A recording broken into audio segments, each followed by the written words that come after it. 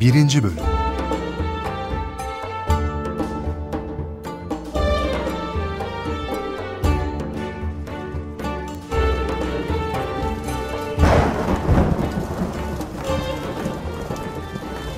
Dede kaçalım. Yağmur başladı. Gel biz ona yağmur değil de rahmet diyelim ha. Ne dersin? Neden öyle diyelim ki? Rahmet bu evladım. Bak Cenab-ı Hak bize yerden bitkiler çıkarmak için gökten su indiriyor. Bu su olmasa ne olur ki? Bu su rahmet değil de nedir? Rahmet hızlandı dede. Kaçalım ıslanacağız.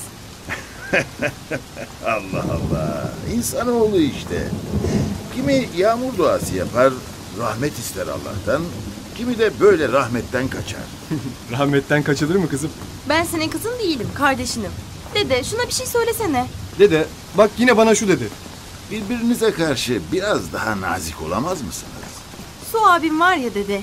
Ne dedin ne dedin? Su mu? Kızınca böyle şaşırıyorum işte.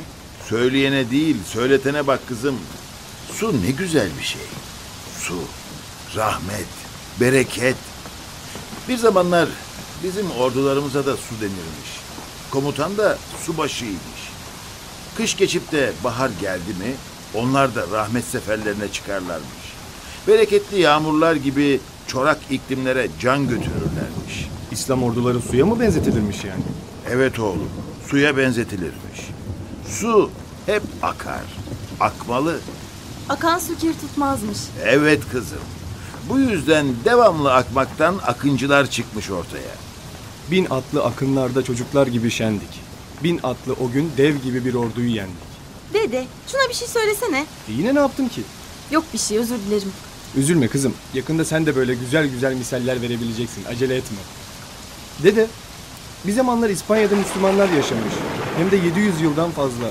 Neden şimdi orada hiç Müslüman yok? Vardır oğlum. Tek tük vardır herhalde. Kendini hissettirecek kadar yok ama. Peki o Müslümanlara ne olmuş dede? Tarihe pek ibretli sayfalar yazmışlar. Sonra da ebedi aleme göçüp gitmişler. Günahlarıyla, sevaplarıyla Allah'a havale olmuşlar. Nasıl yani? Müslümanlar zamanında İspanya'ya Endülüs denirdi yavrum. Endülüs. Endülüs bir zamanlar İslam'ın uzak batıdaki kalesiydi. İslam medeniyetinin en görkemli şehirleri kurulmuştu orada. Güzel günler yaşanmıştı. Peki şimdi ne oldu? Şimdi buruk bir acı. Ne desem bilemiyorum. Dede, bize Endülüs'ü anlatsana. 700 yıl öyle kolay anlatılır mı oğlum? Bunun için bir 700 yıl daha lazım. Ömrümüz yetmez. Cenab-ı Hak ne güzel lütfetmiş. İnsanoğlu yüzlerce yıllık hayatı ana hatlarıyla anlatıveriyor işte. Öyle değil mi? Ben de öyle diyorum zaten. Ana hatlarıyla dede. Yalnız bir şartım var. Zaman zaman o günlere gitmeye, o dönemdeki bazı acı tatlı olayları birlikte yaşamaya ne dersiniz? Ne kadar güzel olur. Yaşayabilir miyiz? Hem de nasıl isteriz dede? Hiç istemez miyiz? Ne zaman başlayalım?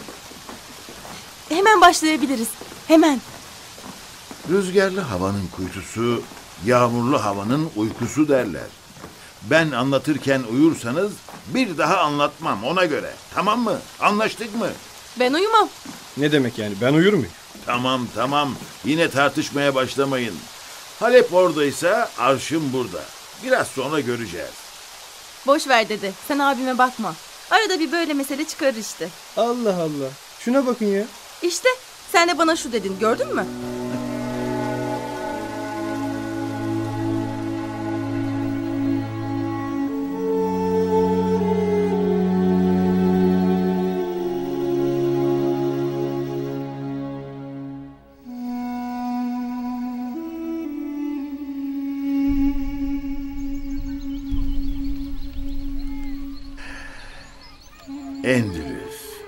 Vizigotlardan önce Vandallar akıl etmiş İspanya'ya. Bu ülkenin güneyindeki Betika bölgesine Vandalüsya adını vermişler. Endülüs kelimesi de bu kelimeden doğmuş galiba. Tarihçiler arasında daha fazla kabul gören görüş bu. Vizigortlar kim dedi? Vizigot. Dede İspanya İberik Yarımadası değil mi? Önce ben sordum. İberik Yarımadası'nda diyelim kızım. Gerçi zaman gelmiş neredeyse İberik Yarımadası'nın tamamına hakim olmuşlar ama ölçülü olmak her zaman daha iyidir. Yani İspanya İberik Yarımadası'nda bir devlet. Tabii şimdi orada bir de Portekiz var. Peki Vizigotlar kim dedi? Vizigotlar barbar Germen kavimlerinden biri oğlum. İber Yarımadası'nda Roma hakimiyeti zayıflayınca çeşitli Germen kavimleri buraya hücum etmiş. Ama burada hakimiyet ilan edenler sadece Vizigotlar olabilmiş. İlan etmişler ama bazı meseleleri aşamamışlar. O ne demek dedeciğim? Devlet olmak kolay bir şey değil yavrum. Yönetenlerle yönetilenler arasında sağlam bir ilişki kurabilmek lazım. Sağlam, sağlıklı, dürüst bir ilişki. Devam edebilen bir ilişki. Vizigotlar kuramamış mı bu ilişkiyi? Roma dönemindeki toplum yapısını aynen devam ettirince kuramamışlar. Roma döneminin etkisinde kalmışlar ne yazık ki. Roma dönemindeki toplum yapısında ne varmış ki? İnsanlar sınıflara ayrılmışlar. Seçkinler, hürler ve köleler diye. Bu sınıflardan herhangi birinde dünyaya gelen kişi ne yaparsa yapsın sınıf değiştiremezmiş. En üstte bütün güç ve serveti elinde bulunduran seçkinler, en altta köleler ve fakirler. Aradaysa küçük çiftçiler ve zanaat erbabı varmış. Peki Vizigotlar hangi sınıftaydı dedi? Vizigotlar hakim unsur olarak kısa zamanda imtiyazlılar tabakasının esas unsuru haline geldiler oğlum. Yani en üstteki seçkinler oldular. Aradaki ve alttaki halk da bundan hoşlanmadı tabii. Dahası Roma döneminde çiftçilerin malı olan araziler bu dönemde seçkinlerin malı oldu. Çiftçiler de yarı köle haline geldiler. Zanaat erbabından alınan vergiler alabildiğine arttı ve neticede insanı insana kul eden tipik bir düzen ortaya çıktı. Köleler ne yapmışlar acaba? Çiftçi ve zanaat erbabı yarı köle olunca asıl kölelerin durumunu siz hesap edin artık. İnsan olarak kabul edildiklerini zannetmiyorum. Gücünden istifade edilen mahluklar olarak kabul edildikleri kesin ama neyse. O insanların hiç sesi çıkmaz mıymış dedeciğim? Yani şöyle tepki mepki, hak arama, ne bileyim. Hak kuvvette olunca zor kızım. Ciddi hoşnutsuzluklar, gerginlikler olmuş. Ezilenler dinden medet ummuşlar. Sonunda kiliseden yardım istemişler. Aslında kilisede Vizigotlardan memnun olmamış. İspanya halkı Katolikken Vizigotlar Arius'un görüşlerine bağlıymışlar. Halk bundan hiç hoşlanmamış. Arius'un görüşleri nasılmış dedi? Katolikler Arius'u sapık bir rahip olarak görürlermiş oğlum. Tamam da neden? Şöyle evladım. Arius Katoliklere aykırı olarak Hazreti İsa'nın tanrılığını, papazların kul ile Allah arasında aracılığını ve Hazreti Meryem'in kutsallığını kabul etmiyormuş. Kısaca bu kadar. Ama bu görüşler yanlış değil ki dede. Katolik kilisesi bundan dolayı Vizigotlardan memnun değilmiş yavrum. Bu yüzden Katolik din adamları idareye karşı bazı faaliyetler içine girmişler. Halk ümitlenmiş ama zavallı halk bu tepkide sadece işe yarayan bir unsur olarak değerlendirilmiş. Yani kilise mensupları bazı vaatlerle halkı kullanmışlar. İşte o kadar. Vizigotlar ne yapmış bu durumda? Önce sert tedbirler almışlar. Fakat olaylar daha da alevlenmiş. Ateş büyümüş. Ülke siyasi bölünmenin eşiğine gelince Vizigotlar resmen Katolikliğe girmek zorunda kalmışlar. Katolik Hristiyanlık bütün İspanya'nın resmi dini olmuş. Mesele halledilebilmiş mi? Aslında pek bir şey değişmemiş. Bu defada kilise mensupları seçkinler sınıfına geçmiş kızım. Kaybettikleri nüfuzu yeniden ele geçirmişler ve devlet yönetiminde ciddi bir etki elde etmişler. O zaman da halkı unutmuşlardır. Çünkü hedeflerine ulaştılar. Evet oğlum. Sanki bütün dertleri buymuş gibi kilise mensupları da devlete ortak olunca halkı unutuverdiler. Bu hal halkın kiliseye olan güvenini sarstı. Bu kez din adamlarından hoşnutsuzluk başladı. Fakir halk din adamları etkin olunca problemlerinin çözüleceğini zannediyordu. Ama maalesef hiç de düşündükleri gibi olmadı. Halk iyice sahipsiz kaldı desene. Diğer taraftan İspanya'da güçlü bir cemaat olarak varlığını sürdüren Yahudiler, Katolik Birliği'nin önünde ciddi engel olarak görülmeye başlandılar. Alınan bir karara göre Yahudiler zorla Hristiyanlaştırılacaktı. Bu mümkün mü dede? Yöneticiler elindeki güce göre mümkün görüyorlardı oğlum. İktidar olunca her şeyin oluvereceğini zannediyorlardı. Akıllarınca onlar emredecek, Yahudiler de itaat edeceklerdi.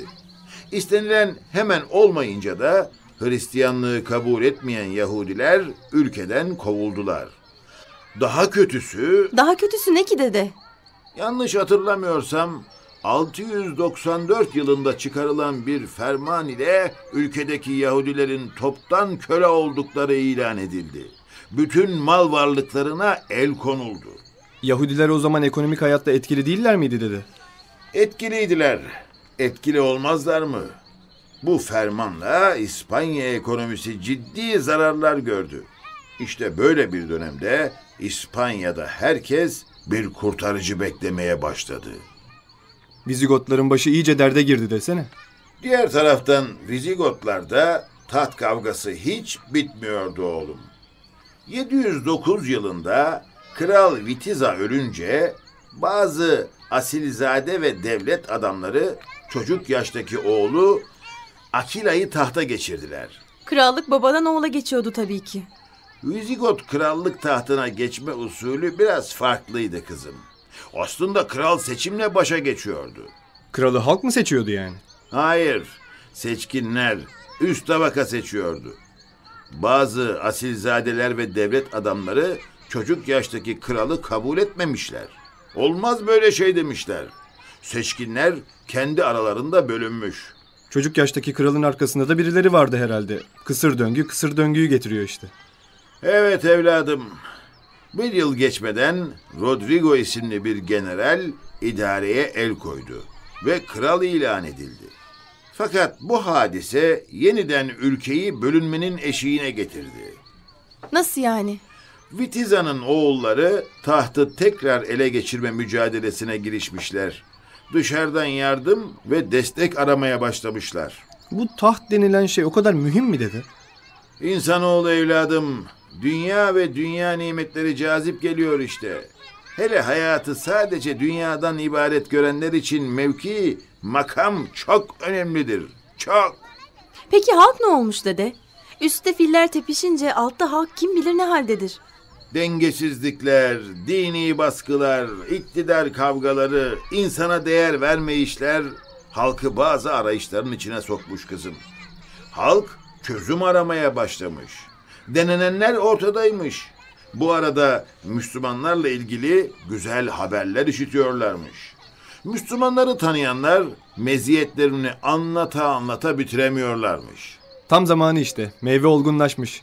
Peki İberik Yarımadası'nda bunlar olurken Müslümanlar ne yapıyormuş dedi?